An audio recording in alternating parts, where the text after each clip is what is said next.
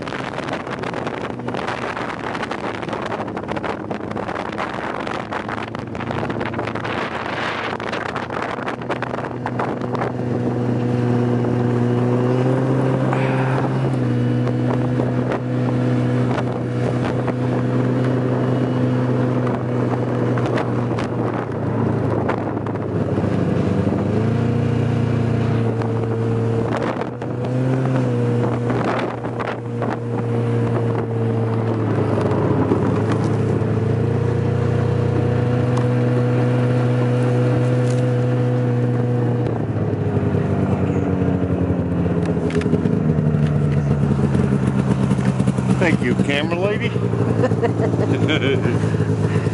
January 20th, 2012. Tom Chamberlin, Inauguration Skip Magrum. day, Inauguration Day, aka Wilbur and Orville.